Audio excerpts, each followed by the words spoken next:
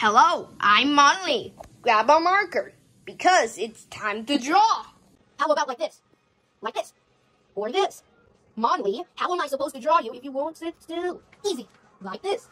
There's one way to draw me. Start with the eyes. Then you can draw two ovals for ears like this. Then a little smooch for my face and the nose. Like a cherry on top. Draw a line for a mouth and another oval for the body. And some arms and legs and a squiggly tail. Da da da. and one more thing. Your smile. I love your smile. Thanks. And for the last step, what should we do now? We dance.